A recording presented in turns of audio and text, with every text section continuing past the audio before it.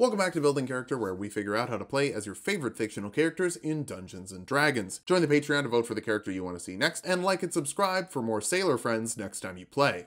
Maybe. Today we're building Ami Mizuno, Sailor Mercury in Dungeons & Dragons. For those of you not in the loop, the Sailor Moon and Sailor Mars videos I made were taken down by the animation company. So to avoid that, I'm using footage from the Sailor Moon video game this time. It looks a lot like Kingdom Hearts Birth by Sleep for some reason. Weird. Water,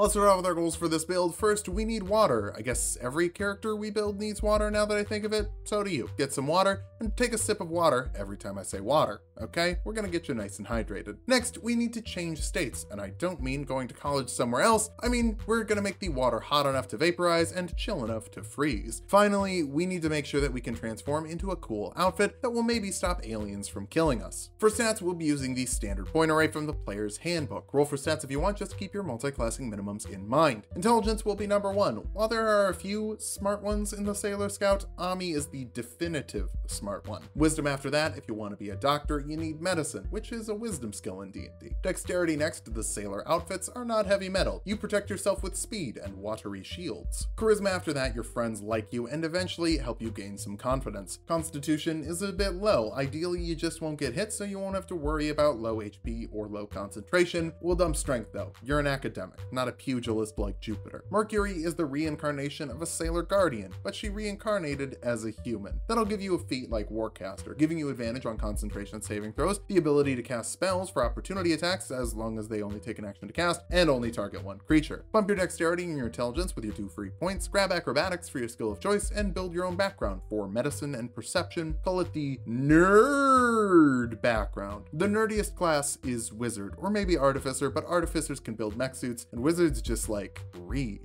Nerd but you get two skills from the nerd list. Like history and arcana, those can be pretty useful when a bunch of aliens are running around town. You can get even more bookish with spells and cantrips, like identify to tell you what a magical item is and how many charges it has left. Detect magic lets you sense magical auras and the type of magic causing them. Put your goggles on and figure out what the heck is happening. Lots of transmutation, ladies turning into cars and stuff. Disguise self lets you change your appearance for an hour, including your clothing so you can get into some more stylish battle duds. Mage armor gives you some practice practical battle duds, setting your AC to 13 plus your dexterity modifier when you're not wearing armor. Shield will bring up a little bubble shield, adding 5 to your AC as a reaction, which would be 20 with mage armor, protecting your delicate 6 total HP at this level. Fog cloud will help you run away, good idea, with a 20 foot radius of heavily obscuring fog to hide in or to make people think you're hiding in it while you run away. For your cantrips, frostbite forces a constitution saving throw on a creature. Failing that, they take 1d6 cold damage and have disadvantage on their next weapon attack, giving you a little consistent offensive option. Message lets you whisper to a creature within 120 feet of you, and they can whisper back for a little sailor communicator. Shape water lets you do some fun flavor with water, shaping it, changing its color, freezing it, or changing its direction it's flowing in. Is it regularly practical? Nah,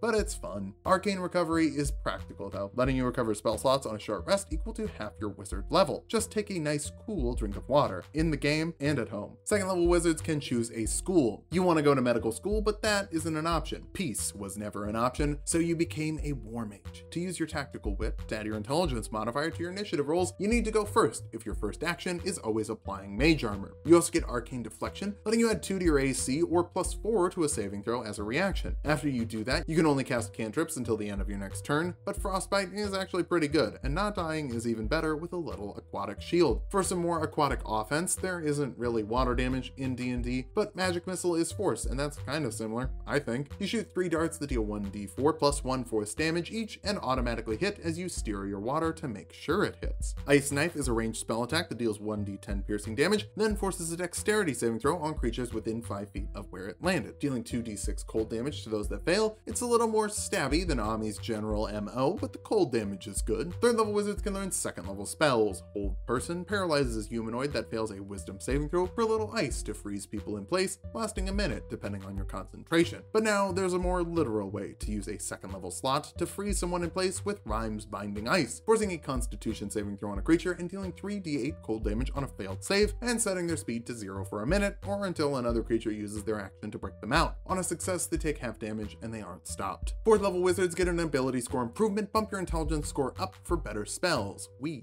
need spells. Ami never uses a claymore. You also get more spells, like Snilloc Snowball Swarm, forcing a dexterity saving throw on creatures in a 5 foot radius sphere, dealing 3d6 cold damage to those that fail, half as much to those that succeed. It's a little less damage and doesn't have the restriction of Rime's, but it's a slightly larger area. Very slightly. Shatter forces a constitution saving throw on creatures in a 10 foot radius, dealing 3d8 thunder damage to those that fail, for the crashing of a thousand waves. Fifth level wizards can actually crash some waves with third level spells like Tidal Wave, forcing a dexterity saving throw on creatures in a 30 foot long, 10 foot wide, 10 foot tall area. Failing that, they take 4d8 bludgeoning damage and they're knocked prone. Half damage and no prone if they succeed. But maybe you're more into making a literal water shield with a wall of water. That'll make a wall of water that's 30 feet long and 10 feet high, or a ringed wall with a 20 foot height and a 20 foot diameter. That makes an area difficult terrain, gives ranged attacks through the water disadvantage, and halves the damage of fire that moves through it. You can also freeze sections of it with a cold damage spell. It's kind of weird, but it can be fun if you find the right place to use it. Sixth level war wizards get power surge, letting you add extra force damage to a spell you cast equal to half your wizard level. You start with one surge at the start of a long rest, but can get more when you shut down spells with counterspell. Oh, counterspell is a spell that shuts down spells of third level or lower automatically, and higher level spells with an intelligence check of 10 plus the spell's level. Shield is a water shield for attacks, counterspell is a water shield for spells. That also apparently makes your water hit harder the next time you use it. Pretty neat. For your other spell at this level, Sleet Storm lets you create a 40 foot radius, 20 foot high cylinder of snow and ice, making the area difficult terrain, forcing a dexterity saving throw on creatures inside and knocking them prone if they fail, and it forces concentration saving throws on casters in the area. It's a whole bunch of bad news for the weirdo aliens attacking Earth. 7th level wizards can learn 4th level spells like Watery Sphere, creating a 5 foot radius sphere of floating water, forcing a strength saving throw on creatures of large or smaller, failing that they're restrained inside until they can make the save on their turn. You can fit 4 medium or 1 large creature and keep moving them 30 feet as your action on their turn. Just mop up the smaller enemies and push them somewhere else. It's the Patrick Star strategy. Obviously, it's brilliant. Otiluke's Resilient Sphere puts a creature inside and stops all magic and attacks from coming in or going out. It can be a great defensive option to protect yourself, or you could trap an enemy in a ball of ice, though an unwilling creature can make a dexterity saving throw to jump out at the last minute. 8th level wizards get another ability score improvement, cap off your intelligence to be the smartest in the bunch, at least until Uranus and Neptune get there. Even then, you're still the smartest, but at least it becomes a competition. For this level spell, Ice Storm creates a cylinder that's 40 feet high with a 20 foot radius, forcing a dexterity saving throw on creatures inside. Failing that, they take 4d6 cold and 2d8 bludgeoning damage, half as much on a success, and the area becomes difficult terrain until the end of your next turn. It's like Sleet Storm, but faster and with the damage. Control Water lets you control water in a 100 foot cube, and I'm gonna be honest, there are so many things you can do. Flood it, part it, change the flow, make a whirlpool. Each of them is really long and complicated, but if you find yourself in an aquatic campaign, these are amazing options. Not so much in a desert. Ninth level wizards can learn fifth level spells. Hold monster is like hold person without the humanoid restriction. Maybe some of the aliens would count as humanoids, but most are gonna be aberrations or something weird. Cone of Cold is a big old ice storm, forcing a constitution saving throw on creatures in a 60 foot cone, dealing 8d8 cold damage to those that fail, half as much to those that succeed. It's really nice to finally have two easy spells to explain. Ami does water, and water is long and funky in D&D. 10th level war mages get durable magic, adding 2 to your AC and saving throws while you concentrate on a spell, so if you're watery sphering, you'll also not get hit as often. Skill empowerment is another great concentration option, giving a creature expertise in a skill they're proficient with for up to an hour depending on your concentration. That would double your proficiency bonus on something like Arcana or History or Medicine, while also just bumping up your AC and all your saving throws. Bumping a knowledge skill before using the Legend Lore spell is also a very good strategy, since that spell lets you know more about a person, place, or thing of legendary renown. The more you already know about it with a History or Arcana check,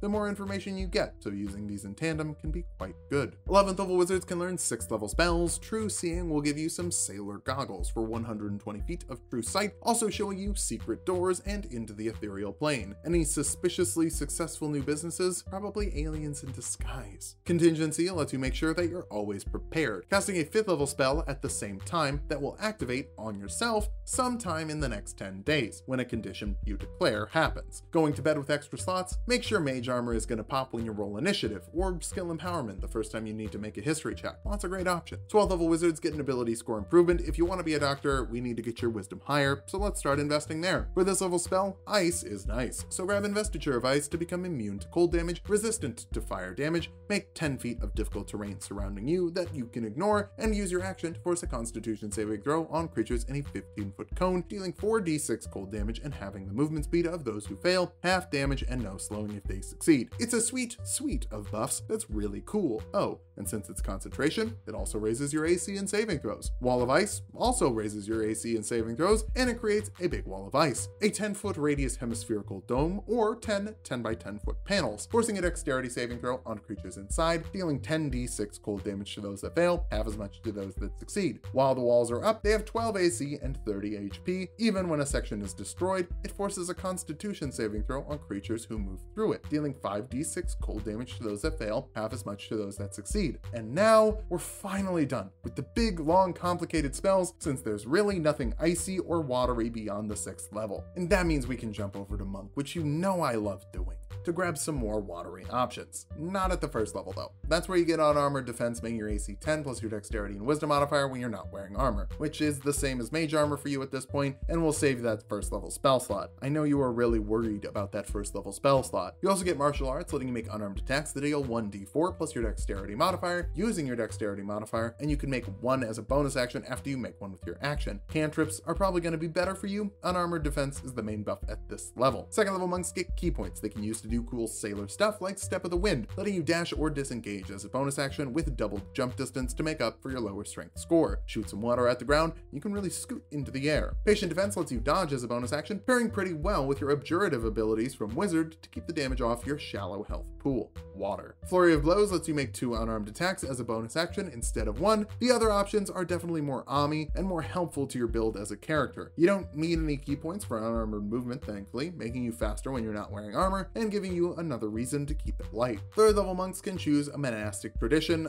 Four elements monks get some exclusive water options, like Water Whip, letting you spend two ki points to force a dexterity saving throw on a creature within 30 feet of you, dealing 3 d10 bludgeoning damage if they fail, and an additional d10 for every ki point you spend. They're also knocked prone or pulled to 25 feet closer to you, but that's only if they don't succeed. They also only take half damage if they succeed. You also get deflect missiles, letting you use your reaction to reduce damage from incoming ranged attacks by 1d10 plus your dexterity modifier and monk level, even throwing it back by spending a ki point if you've dropped the damage to zero. I would just use this to keep the damage off, save your ki points for water whips. Fourth level monks get slow fall, letting you reduce falling damage by five times your monk level as a reaction. Just shoot a little pool of water by the ground to land in. Nobody breaks their legs in the deep end. You also get another ability score improvement, bump your wisdom again for better water whips and better AC, as well as more medicine skill for your post-sailor life. Kinda stinks when you're working so young. Then going to school to get a degree to work more? When do you just get to chill out? Never? Sad, but relatable. Fifth level monks get an extra attack, letting you make two attacks instead of one with your action, but even with that and the d6 martial arts die, casting's gonna be better. The only reason to use it would be for stunning strike, letting you spend a ki point when you hit a creature with a melee weapon attack to force a constitution saving throw on them, failing that they're stunned until the end of your next turn. If this was a first level wizard spell, it would be considered busted, but it's a monk ability, so it's bad, I guess. Sixth level monks get ki empowered strikes, making your unarmed attacks magical in terms of overcoming resistances. If you can control water magically and water does magical bludgeoning damage, it would follow that your unarmed attacks are now water